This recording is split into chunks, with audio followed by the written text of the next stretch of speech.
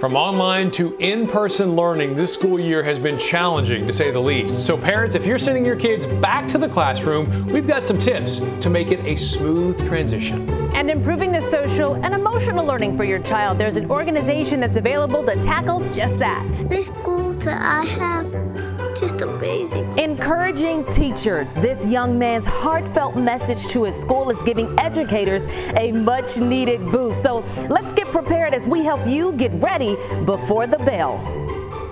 Welcome to our special Before the Bell half hour and getting us in the right mood. Welcoming us this morning, Chandler Dunn's first grade class from Vernal Lister Elementary School in Garland. Hey guys! Yeah, they've already been up talking to Deshara and they are ready to have fun this morning. We've got our virtual Zoom and uh, we're kicking off a beautiful Wednesday, so we're happy that they're awake with us. Shiny, smiling faces. We're going to check in with them throughout the show, our little pep rally we do on Wednesdays.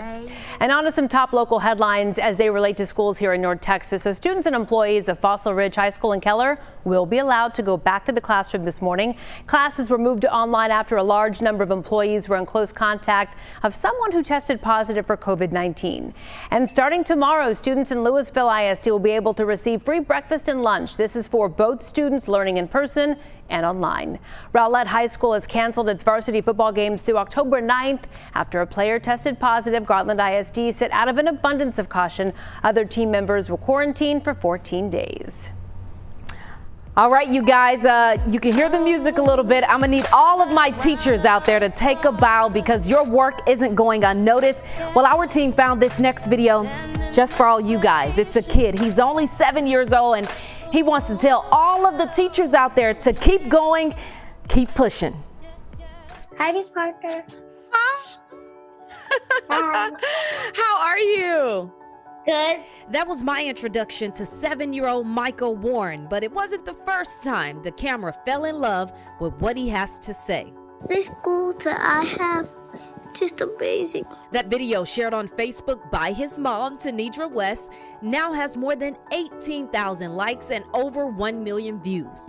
All y'all teachers out there, just keep on pushing. Just keep on going.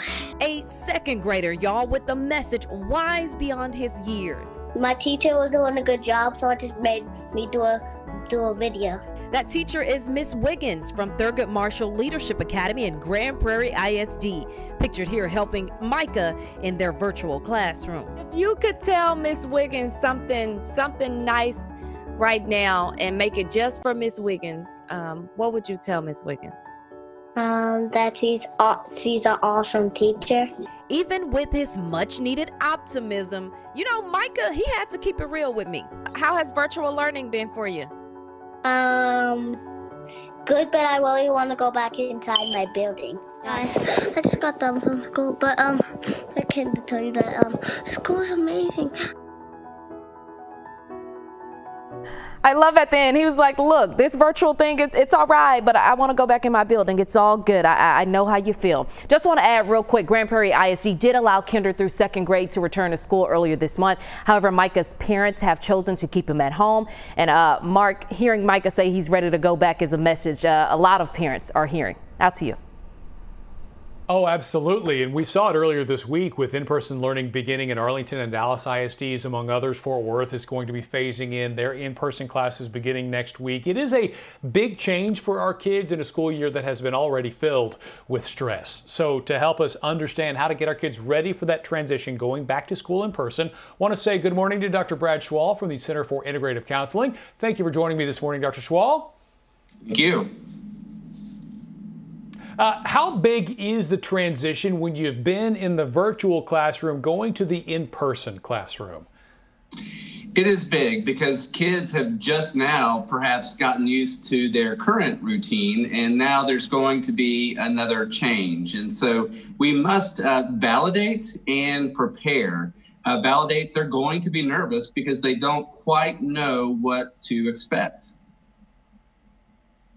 Let's say you've got a kid who is reluctant to go back. Maybe they're fearful of getting sick. What are some strategies for getting them excited and on board to being in the classroom?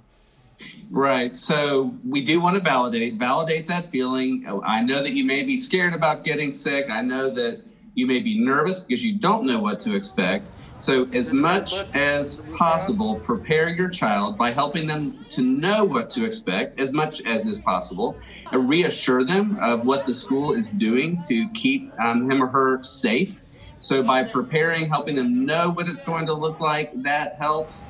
And when we also prepare them physically, getting sleep leading up to that first day, giving them that good breakfast, getting them everything that they need. And most of all, I think having a positive and calm attitude ourselves. We set the tone. If we can show that we're confident, that sets the tone for our child to help our child feel confident.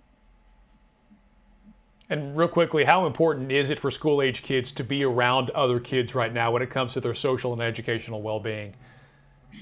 Interacting um, as a child is key to kids learning to get along, to work well with others. Education is a relational process. So, education relies on relationships. So, it is great uh, for kids to be able to be together uh, in a safe way uh, because that social and emotional learning is just as important as that academic learning. Well, Dr. Schwall, as always, I appreciate you waking up early with us and sharing your expertise as we send it now back to Kara. Thank you.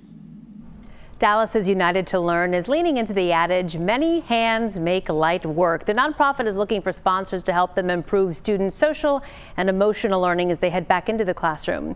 United to Learn rallies the community around almost 50 DISD elementary schools to help fill resource gaps and set students up for success. So Carol Golia, president of United to Learn, says focusing on students' well-being is so critical right now, so they're working on a campus improvement project aimed at soothing students.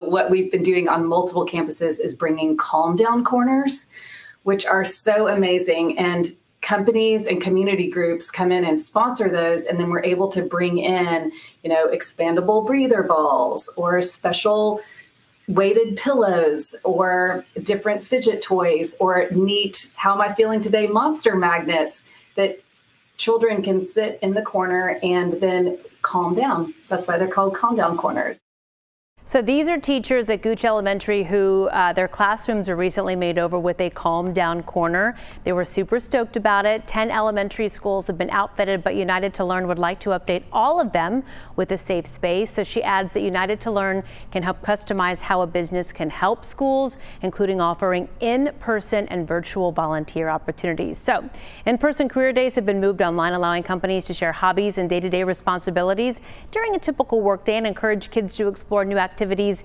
and careers during the pandemic, you can visit unitedtolearn.org forward slash partner to get connected. Still ahead, every day we are learning more and more about COVID